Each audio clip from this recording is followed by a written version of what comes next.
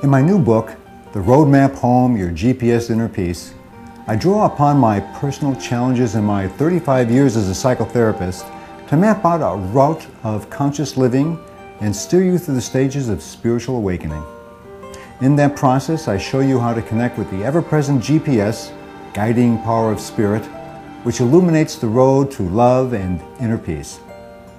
In nine chapters with titles such as Meaning of Home, Wake Up Calls and Signposts, and Heartbeat of Connection, I provide a guide to help you reclaim inherent rights, to delight in the senses, to feel true joy, to exercise free will, to love and be loved, to express yourself, to recognize talents and fulfill dreams, and remain connected to the guiding power of spirit.